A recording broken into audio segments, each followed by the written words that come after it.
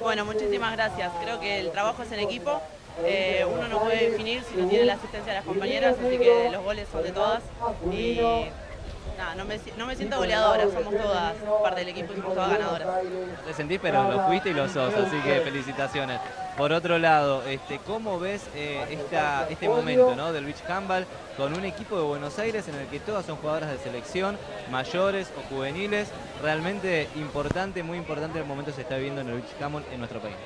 Sí, eh, a mí me toca vivirlo desde la nueva experiencia, porque hace poquito que juego, eh, pero veo el crecimiento y estando dentro veo el sacrificio de todas las chicas, que tanto de las juveniles para, la medalla olímpica y de las mayores, que vienen jugando este deporte hace más de 10 años y que eh, tuvieron también su medalla de plata en los World Games y el crecimiento es enorme y gracias a la gente que nos está apoyando muchísimo para que esto siga creciendo eh, y ojalá que, bueno, que tenga la repercusión y la importancia que, nos merecemos. ¿no?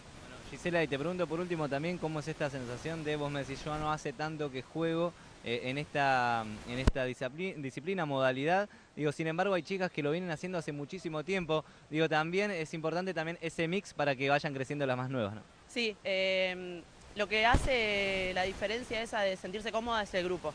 La verdad que es un grupo excelente y cada jugadora que se va incorporando, que se va sumando al grupo, hace que, bueno, que nos ayude a crecer y, es todo gracias al compañerismo y a la buena onda que tienen las, las jugadoras con más antigüedad.